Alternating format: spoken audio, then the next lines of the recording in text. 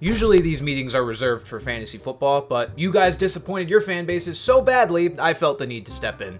Kentucky, explain. What do you want us to say? Those guys came to play and they played hard. You lost to a team called the Peacocks and a guy named Doug. You have the National Player of the Year on your team, and you lost to a guy who looks like an assistant manager at Kroger. And hey, Murray State, I didn't realize Peacocks were apex predators because they took out your dumbasses too. Why are we even here? We were a 7 seed. Is us losing really that big of a deal? Anyone losing to a 15 seed is a big deal, especially when it's the Peacocks. Clearly, their beef is against more than just the University of Kentucky, it's against the entire state of Kentucky. You guys should be embarrassed, and I see why your coach left you for LSU. Baylor, I understand your school is located relatively close to Dallas, but I really didn't think it was close enough that the Cowboys playoff choking stench would rub off on you. Iowa and Illinois, let me show you my shocked face that you guys are here for the billionth year in a row.